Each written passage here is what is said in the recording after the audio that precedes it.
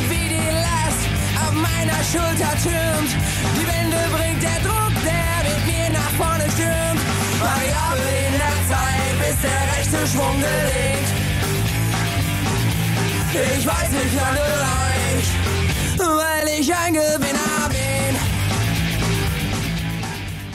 Herr Lorenz, 1 zu 1 gegen den 1. FC Köln. Wenn Ihnen den Punkt vorher jemand angeboten hätte, hätten Sie den mitgenommen? Ja, ich denke, aufgrund der Konstellation momentan ähm, galt es einfach, die, die Serie weiter fortzusetzen und geschlagen zu bleiben.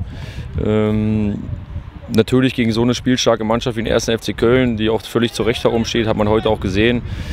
Ja, mit so einem Freischuss dann noch dem, die, den Dreier abzugeben, natürlich ärgerlich, aber man muss wirklich neidlos anerkennen, Köln, sehr gute Truppe, mehr Ballbesitz Besitz gehabt, spielerisch wesentlich stärker als wir.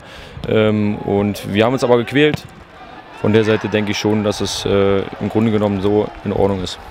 Sie haben selbst allerdings wenig klare Chancen zugelassen. Was hat Ihre Mannschaft dementsprechend besonders gut gemacht gegen so eine spielstarke Mannschaft?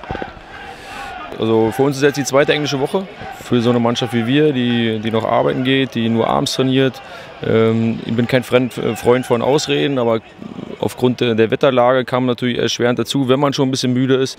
Ähm, deswegen Hut ab, Kompliment an die Truppe, wie sie sich gequält hat, wie sie defensiv gearbeitet hat, wie sie immer wieder versucht hat, das Bein vorzukriegen, hat alles in die Waagschale äh, geworfen. Das zeichnet aus. Daran haben wir gearbeitet, an den Grundtugenden für einen Aufsteiger. Ähm, das ist aber selbstverständlich.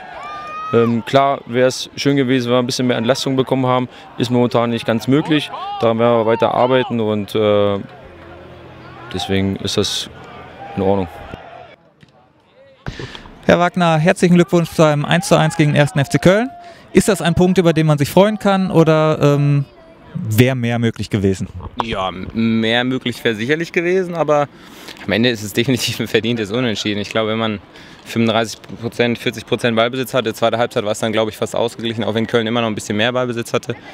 Aber ich glaube, wir hatten die wesentlich klareren Torschancen. Ich glaube, wir hatten vier, drei, vier klare Dinge und machen daraus halt leider nur ein nicht mal aus der größten Chance. Und äh, Köln habe ich jetzt viele Halbchancen gesehen. Also sie haben natürlich unheimlich oft vom 16er geschossen. Kann auch mal einer wackeln und äh, der Freistoß war ja dann am Ende dann ein Standard, der dann das Tor bringt. Also bei Köln habe ich gar keine klare Torchance gezählt. So jetzt allein auf dem Torwart zu, aber sie hatten halt viele Halbchancen und so ist, denke ich, ist es okay. Ein Ausblick auf die kommenden Spiele, was kann dieser Punkt wert sein? Oh, uns ist jeder Punkt, äh, jedes Spiel noch einen Punkt holen, dann haben wir am Ende den Klassenhalt. Nein, das ist natürlich müßig.